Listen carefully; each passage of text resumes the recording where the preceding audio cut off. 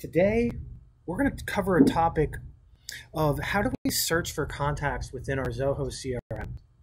If you first log into your the CRM system and you go to the Leads tab, you can see that we have well over a quarter million contacts. While that's a lot of contacts to have and a great database to, to be sitting on, how do you find the people that you actually want to call? So I'm going to cover some of the basic methods of how you'd search for customers and narrow these leads down so that you could build a list or basically find who you're looking for more specifically.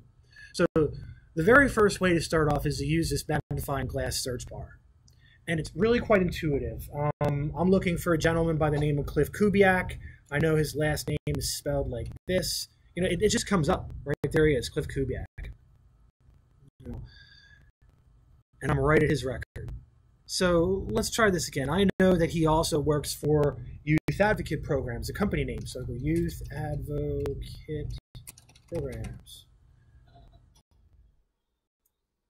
Whoops, let's try this again.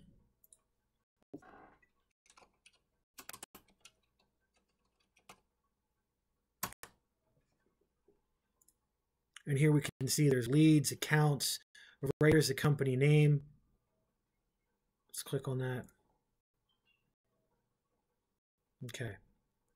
Once again, going back to the lead. So you can use the magnifying glass search bar to find uh, people that you're looking for. Um, the next option is to narrow things down using the options on the left. So filters. There are many filters in here, and sometimes I find the best way to find them is just to, to, to get creative. For example, let's say I want to find all the, the records of people who reside within the city of Philadelphia. I'm going to click city. All right and is Philadelphia. Oops.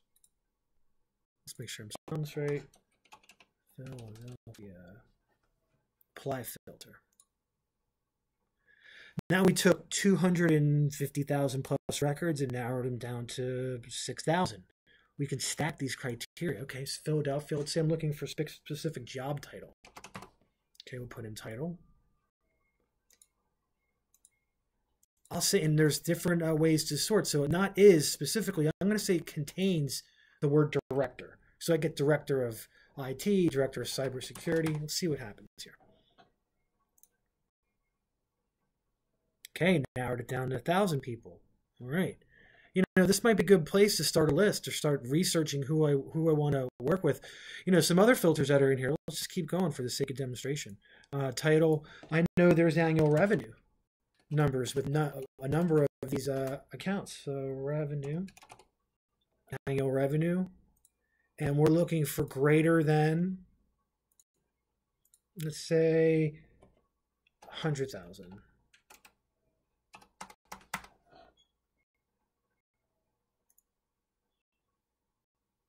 Okay. Only took me 200 out, but you know, we have a pretty good list going here. So this is how you narrow it down.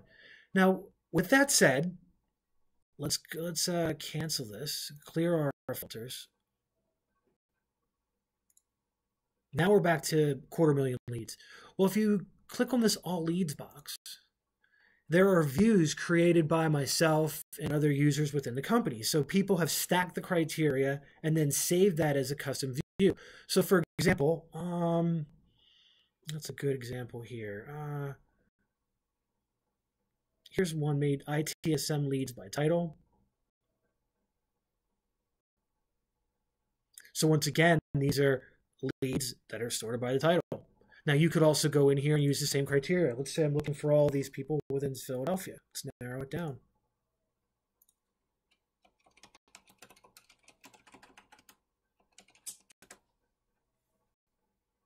Okay, now 93.